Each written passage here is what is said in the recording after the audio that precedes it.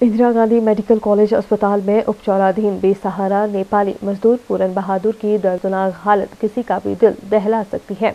उमंग foundation के अध्यक्ष professor Ajay Srivastava ने राज्यपाल राजेंद्र विश्वनाथ आलेकर को पत्र लिखकर ऐसे बेसहारा मरीजों के लिए मुफ़्त इलाज और तीमारदार के साथ ही पुनर्वास की व्यवस्था के लिए कदम उठाने का अनुरोध किया है। शिमला के इंदिरा गांधी मेडिकल कॉलेज अस्पताल में भर्ती पूर्ण बहादुर एक नेपाली बेसहारा मजदूर की दर्दनाक कहानी हमने राज्यपाल को लिखकर भेजी है। आ, हमने बताया है उन्हें कि किस प्रकार से ये ठियोग के एक इलाके में मेहनत मजदूरी करके गुजारा कर रहा था और कुछ दिन पहले एक दुर्घटना में इसके घर में आग लग गई और इसकी दोनों टांगे जल गईं। इसके बाद इसकी मदद के लिए जब कोई नहीं आया तो स्थानीय दो युवा संजय बेगटा और आशु बेगटा जो उमंग फाउंडेशन से आ, के साथ जुड़े होते हैं उन्होंने इसको पहले ठियोग के अस्पताल में दिखाया और उसके बाद इसको यहाँ मेडिकल कॉलेज ला करके भर्ती कराया। इलाज के लिए इसके पास कोई खर्च नहीं था तो लगभग सोलह हज़ार रुपए इन्होंने इलाज में लगाए।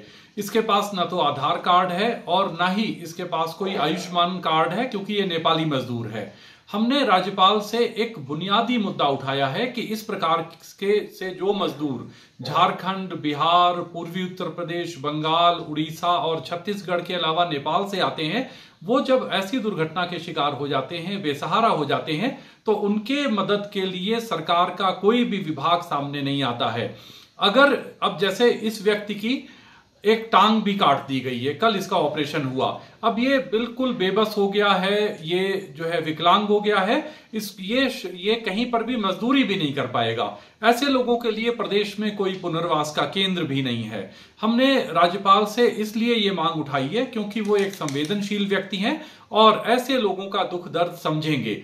हम उमंग फाउंडेशन की ओर से उन दो युवकों, आशु और संजय बेगटा, इनका भी आभार जताते हैं। कि वे इस प्रकार के मरीजों के लिए सामने आते हैं। और जब मैंने डॉक्टर जनकराज, जो सीनियर मेडिकल स्टूडेंट है मेडिकल कॉलेज के, उनसे बात की तो उन्होंने कहा कि वो स्वयं इस मामले को देखेंगे और इसके इलाज के लिए पूरी व्यवस्था करने के प्रयास करेंगे। Bureau report city channel, Shimla.